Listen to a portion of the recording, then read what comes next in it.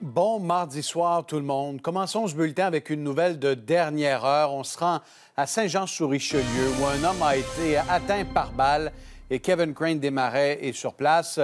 Kevin, selon ce qu'on a appris au cours des dernières minutes, euh, c'est arrivé en présence du fils de la victime.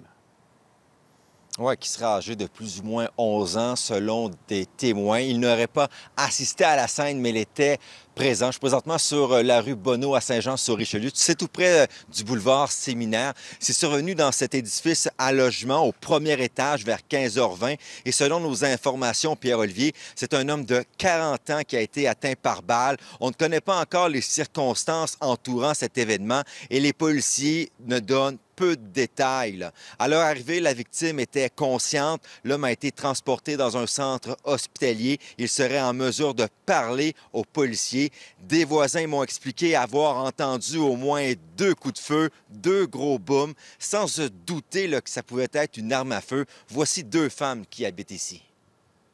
Je commence à avoir peur. Là. Je me demande si je ne serais pas mieux de déménager ailleurs. C'est, assez peurant. Là. J'ai pas entendu crier. Mais euh, j'ai entendu courir, puis j'ai vu le petit garçon pleurer, puis essayer de tirer. Il était tiré par une policière ou une dame d'une travailleuse sociale, je ne sais pas.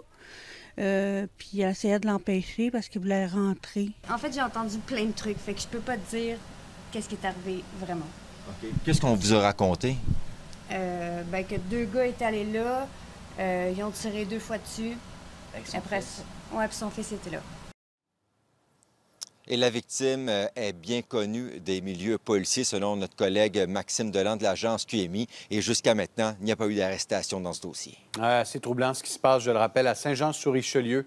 Merci, Kevin, pour ces détails. Au revoir.